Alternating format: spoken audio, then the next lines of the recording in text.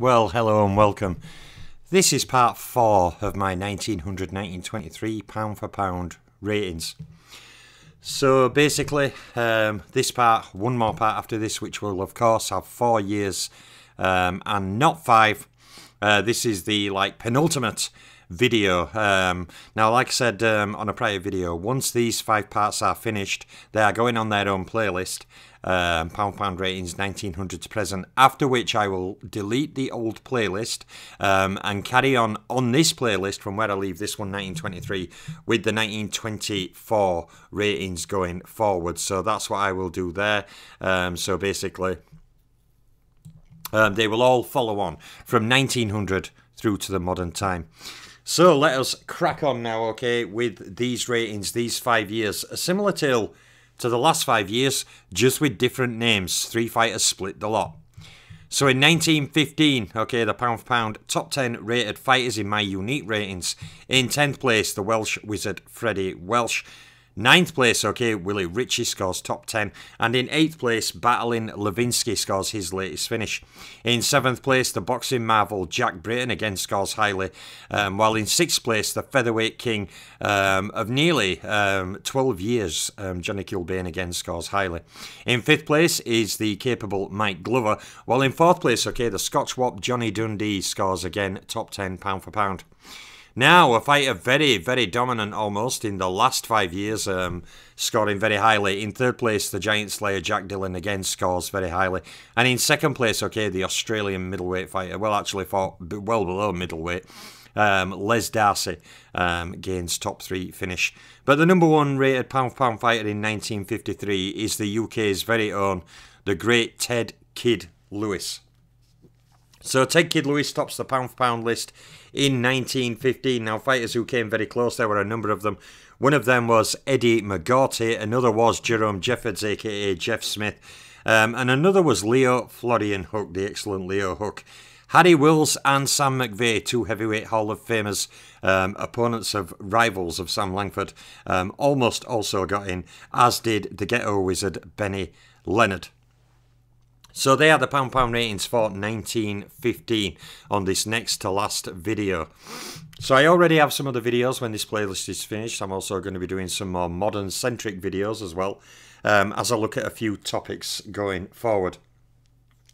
I've also got my top 10 featherweights of all time. I need to finish that uh, 8 video playlist off as well over the coming month or so.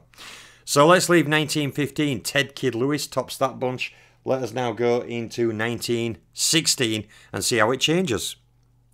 So in 1916, okay, Les Darcy still gains a top 10 pound pound finish, dropping from third but still coming in the top 10 fighters. In ninth place, the Black Panther Harry Wills um, finishes top 10 um, after narrowly missing out last year. In eighth place, last year's number one, Ted Kid Lewis again scores top 10. And another Thunderbolt, okay, Billy Miske, the light heavyweight and heavyweight contender, Hall of Famer, scores seventh. The Welsh wizard Freddie Welsh um, again scores another high ranking this year as the sixth best fighter pound for pound. While in fifth place, okay, the excellent battling Levinsky again scores highly. The Hoosier Bearcat, Jack Dillon, again gains a strong finish. Jack Dillon has been very consistent um, in, from the last video and into this one, scoring top 10 pound pound pretty much every year. While the top three this year, okay, in third place, the Scotch Wop Johnny Dundee finishes very highly. And the Boston Bone Crusher Sam Langford, um, who's dropped from recent ratings, comes back in with a vengeance with a massive 1916 um, in terms of activity, um, coming second pound for pound as well. But the number one pound for pound rated fighter in 1916 is the great rival of Ted Kid Lewis, the three time lineal welterweight champion, the boxing marvel Jack Britton. So, Jack Britton tops 1916, okay, ahead of his rival from who topped last year, Ted Kid Lewis. 1916 also saw a whole number of fighters nearly getting in. Um, you know, one of them um, was Harry not Harry Wills, sorry, Mike Gibbons, um, the middleweight. Another was Benny Leonard. Another two fighters who came close. One was Mike O'Dowd. One was Mike McTigue. Kid Williams also made a good effort, as did Jimmy Wilde.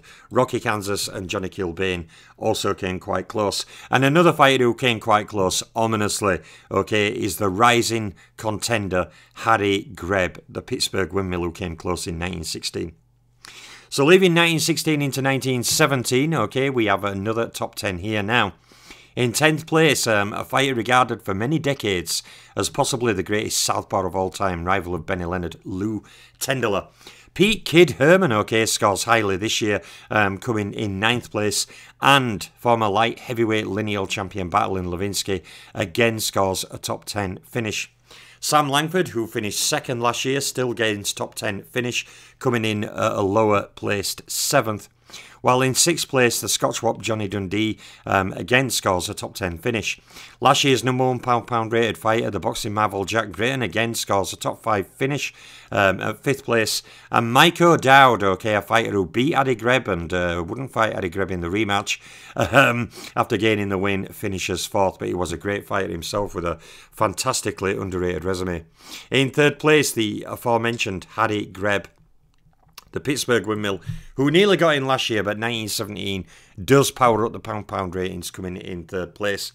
In second place, the ghetto wizard Benny Leonard, who is now, of course, the reigning lineal undisputed lightweight champion of the world, nearly gets the top spot. But in 1917, okay, the great rival of Jack Britton, the great UK fighter Ted Kid Lewis, um, following from 1915, he dropped off from the number one. He reinserts himself as the number one pound pound rated fighter in 1917. So fighters who came close in 1907, one was Tommy Gibbons. Other fighters included Jeff Smith, um, Leo Houck, Billy Miske, and Jack Dillon. Um, Rocky Kansas and Jimmy Clabby also came quite close, um, as did Mike Gibbons. Um, another fighter who came close in 1917 was the Black Panther Harry Wills. So let us leave 1917 there, go on to 1918, year four of this five year video. Um, and in 1918, um, in 10th place, okay, we have Leo Florian Houck. Um, in ninth place, we have um, light heavyweight to heavyweight contender and underrated fighter of his time, Tommy Gibbons, the brother of Mike Gibbons. And in eighth place, the Black Panther Harry Wills um, comes back into the top 10 pound for pound rated fighters. Seventh place, the Scotch Wop Johnny Dundee again gains another top 10 finish. While in sixth place, okay, another rising name, the Manassa Mauler Jack Dempsey, the ferocious heavyweight king, um, comes in the top 10 for the first time. The ghetto wizard Benny Leonard um, again scores highly, following from last year, coming in at fifth. While last year's number one, um, the great Ted Kid Lewis, finishes fourth. The great southpaw Lou Tendler um, comes in the top three at third, while the Pittsburgh windmill Harry Greb, okay, who um, appeared in last year's rating again, pushes up one more notch in 1918 to be the second rated pound for pound fighter in the world. But the number one this year, okay, um, swapping with his main rival over these first four years, is the three time linear welterweight champion Jack Britton.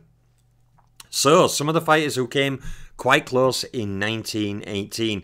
Um, one of them was former light heavyweight champion Battling Levinsky, and another was the underrated fighter Rocky Kansas, who has a stunning resume himself. Um, Billy Miske, the light heavyweight and heavyweight contender, um, Hall of Famer, um, also barely missed out, um, as did lower cha- fighter and champion Joe Lynch. So 1918 is the next to last year, and we have one more year in 1919. And 1919, um, following on from 1918, 1919 was won on a landslide, um, you know, by one fighter. We will jump to that in a second. But Ted Kid Lewis and Jack Britton have done very well, you know, showing themselves to be top rated pound for pound fighters.